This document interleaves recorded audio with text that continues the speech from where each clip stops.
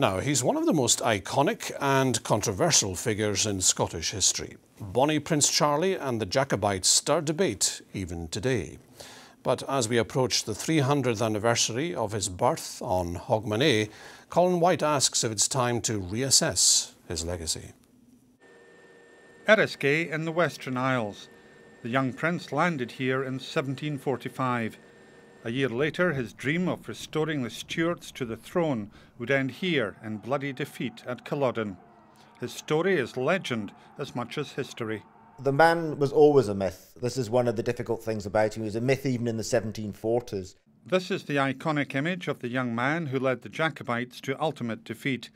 300 years after his birth, he remains seared on our collective Scottish memory. He's got this um, sort of quite heartbreaking story um, around him where he's a young man, he's in his mid 20s, he's trying to regain the throne of Britain for his father.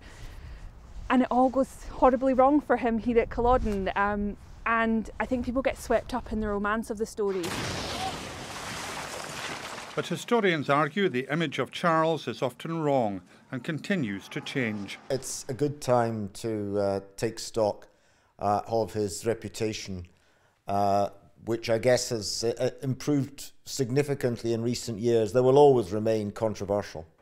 He wanted results and he wanted them quick, and he was like that his whole life long.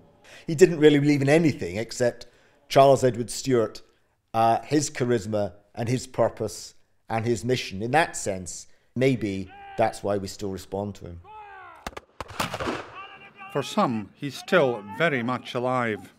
We have to remember that so much of what went right in 1745, before it turned around, was down to Prince Charlie, his ability to bind people to the cause, and his ability to inspire them.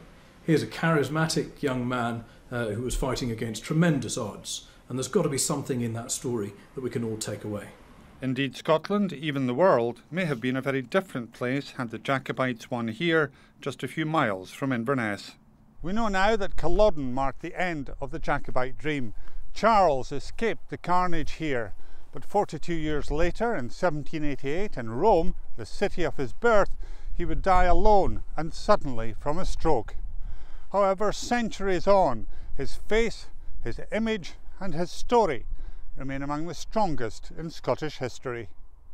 Colin White, STV News, on Culloden Battlefield.